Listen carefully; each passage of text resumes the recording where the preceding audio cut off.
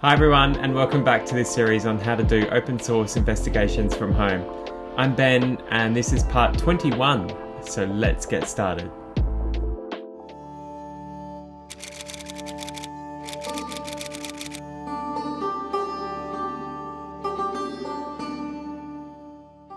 In this session we're going to look at Google's image source search. This is an addition to the Google Image Reverse Search and it's relatively new for Google applications and allows us to actually look for the exact image and where it was taken from.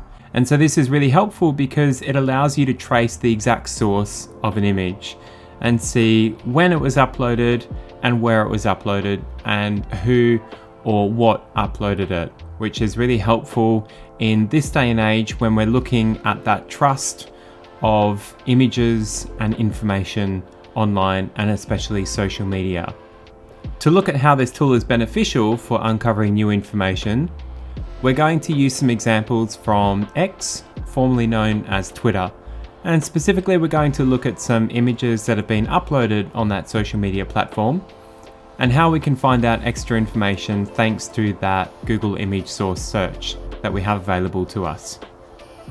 The first example that we're going to look at is this post from the US Air Force on this aircraft that we see in the images here. I'm going to open up this image and I'm going to save it so that we can run it in Google Lens and have a look at a little bit more information around this image. On the Google homepage, I'm able to click search by image and I'm going to upload that image that I saved from the platform there. What that's done is it's allowed me to search for similar images of the same aircraft on the internet. While I see some similar images on the right, I want to find where else the exact image has been uploaded. And I can see that by clicking on Find Image Source. What this does is it shows me where the exact same image has been uploaded and how many days ago. And I can also click on these links to open them up and find out a little bit more context about those. In the second example, we're going to have a look at this tweet by the Deputy Secretary of Defense. This is a really interesting one because it shows what appears to be lots of drones and it's a tweet about autonomous systems. Note that this was posted on August 28, 2023. And this is looking at the future of autonomous systems. Again, I'm going to do the same process by saving the image, going into my Google and uploading that image. We can see that it's not the first time it's been uploaded. And hey, we even have other images too. So that becomes really helpful because we get to even find out other images. And if we were doing geolocation of this image, we now have buildings as well as the mountains. By clicking that find image source, we can also see where else it was uploaded and what dates. Now remember, the image that we were looking at was uploaded on August 28, 2023.